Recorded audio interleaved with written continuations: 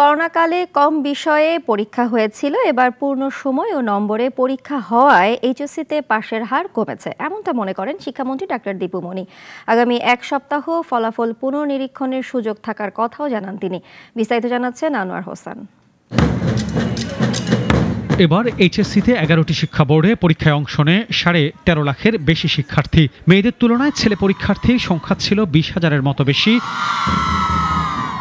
তবে ফলাফলে এগিয়ে মেয়েরা মোট পাশ করে দশ লাখ সাতষট্টি হাজার আটশো বায়ান্ন জন।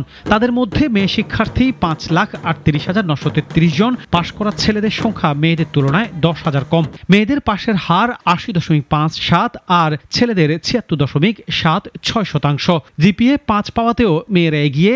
মেয়েরা পেয়েছে উনপঞ্চাশ হাজার তিনশো পঁয়ষট্টি জন আর ছেলেরা তেতাল্লিশ হাজার দুশো তিরিশ জন। অর্থাৎ ছেলেদের তুলনায় মেয়েরা জিপিএ পাঁচ পেয়েছে ছয় হাজার একশো পঁয়ত্রিশ জন বেশি। তবে এবার জিপিএ পাঁচ পাওয়া শিক্ষার্থীর সংখ্যা গতবারের তুলনায় তিরাশি হাজার নশো সতেরো জন কম।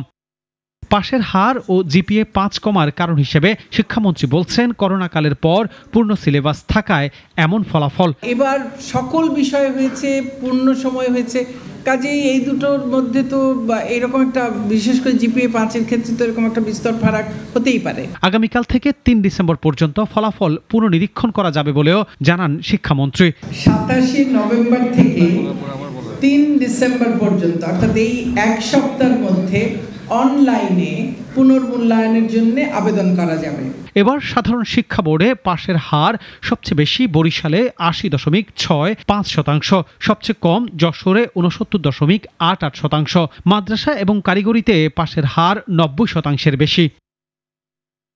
আনোয়ার হোসেন, নাগরিক, ঢাকা।